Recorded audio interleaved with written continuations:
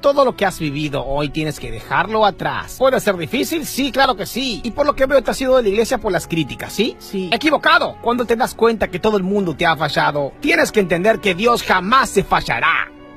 Es que yo le hablo y él no me escucha. Eso es mentira. Claro que te escucha, hijo. Repite conmigo. Dios nunca me falla. ¿Qué? Dios nunca te falla.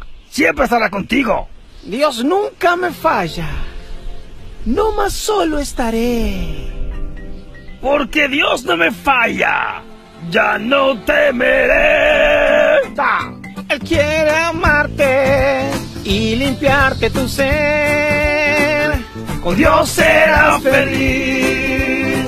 Oh, tan feliz. Dios nunca te falla. Dios nunca me falla. El hombre te falla, pero Dios no. ¿Y cómo lo veo? Aunque no lo veas, Él está en ti.